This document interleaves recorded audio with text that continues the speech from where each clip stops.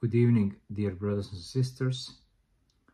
Uh, Saint Paisios said, Be the bee, not the fly. That's my tonight's subject. Some people will tell you that they are scandalized because there are many things wrong in the church.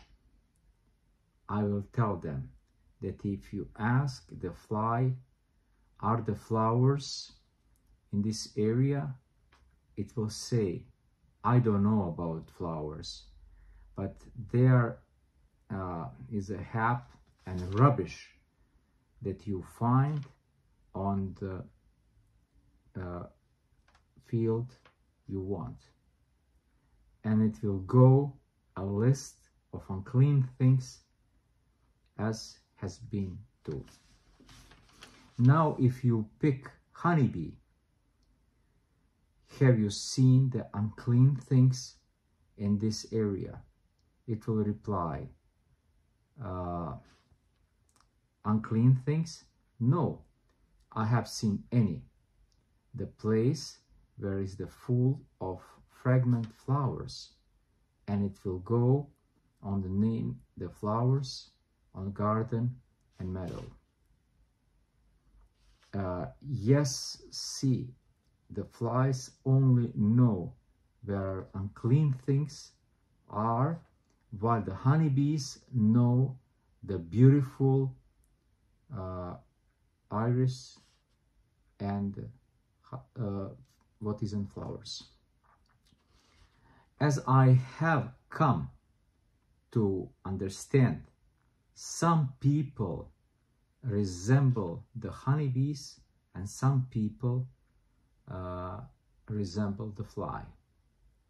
Those who resemble the fly seek to find the evil in every circumstances and are preoccupied with they what the to see, uh, to see good everywhere but those who uh, resemble honeybees only they see inventory uh, and good everywhere.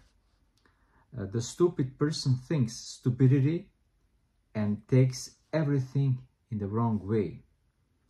Whereas the person who sees good things uh, no matter uh, what sees the matter is for him mention the positive things uh, who are thought. So uh, messages to be like honeybees, not like flies.